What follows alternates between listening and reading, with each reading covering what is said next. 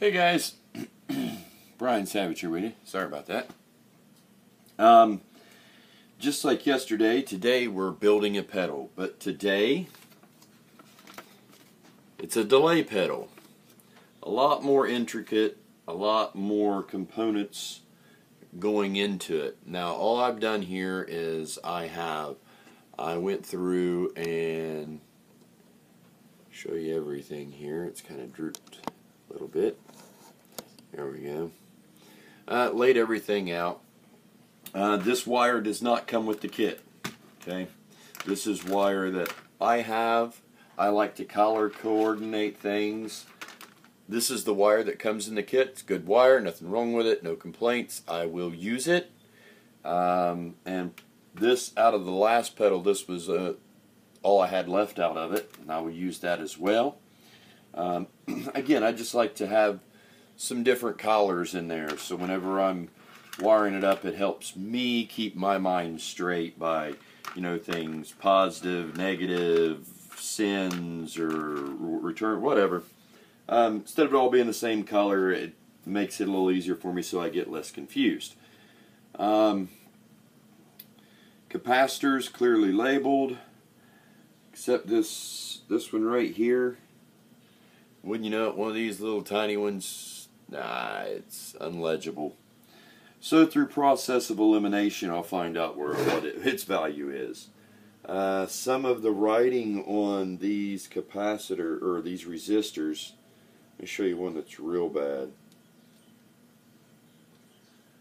I think that's supposed to be a 27. Can you make it out? 27K? uh, I guess we'll find out. There are some 24s, so I don't think it's supposed to be a 24.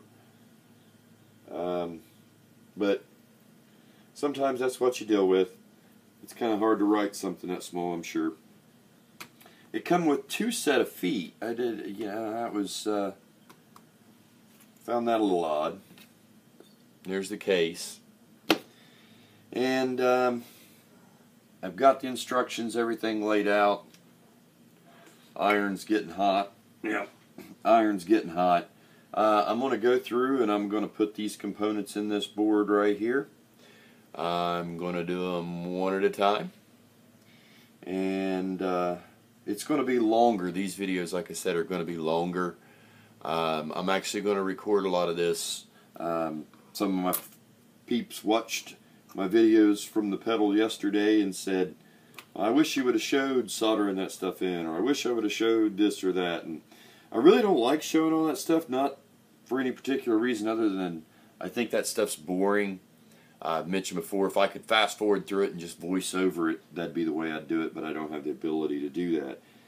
Um, so anyway, guys, that that's what is on uh, up here today, and uh, let's get started.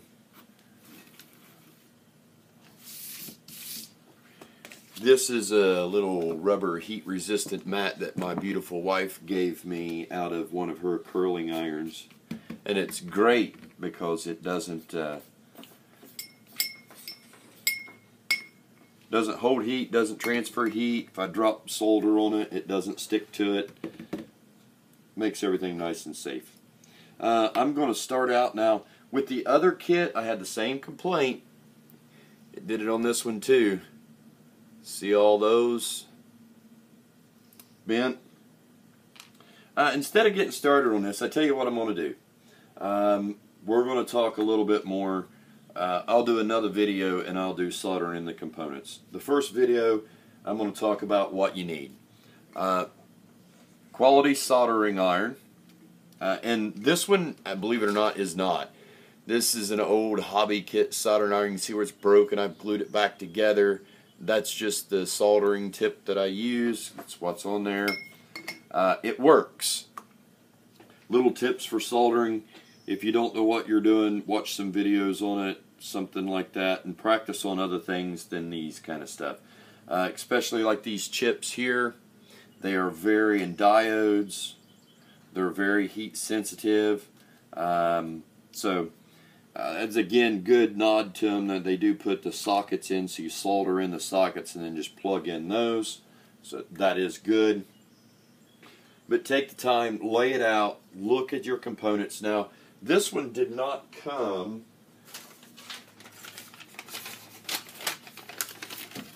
the, the overdrive had a parts list on it.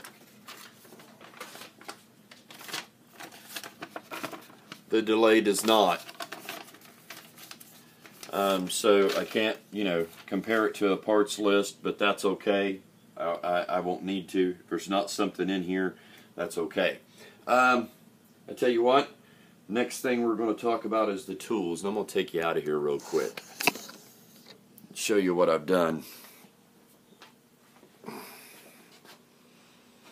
Here's my tool layout. Um, these are not quite necessary. Let's look here. I just put some jacks there so that I, you know, can plug it in and test it. Phillips screwdriver, uh, a 10, 8, 12, and 14 millimeter wrench. This is an 1132nd because the LED is supposed to be an 8 and it's uh, a little, the, the nuts nut wasn't stamped correctly and it's a little bit too big to fit in the 8. Should be an 8. It is metric. Um, a file, the file, this flat file I have because on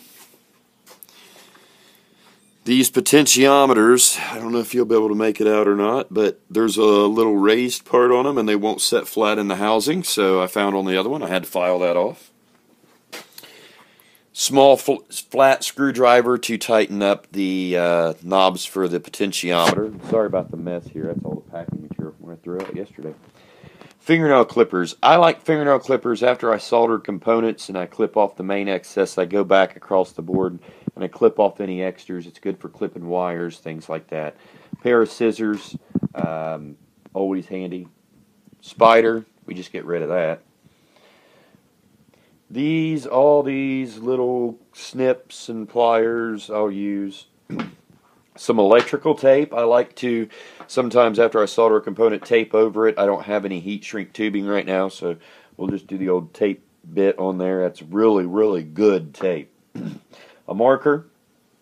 Three different size drill bits. This is for the LED.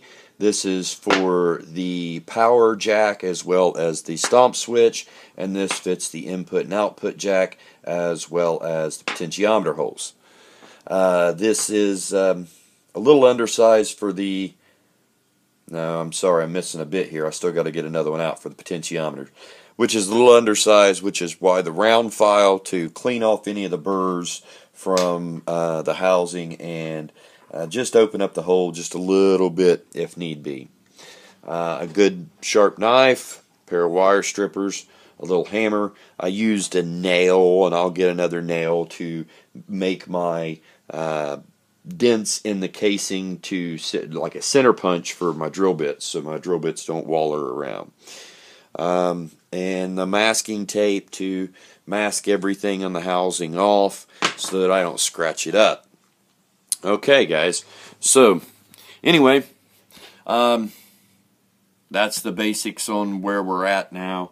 Um, and uh, we'll end this video here. Sorry about that. We'll end it here and I got my drill press ready. So, anyway, share the music, share the love. Look forward to video number two because that is going to be when I do some soldering. See you later.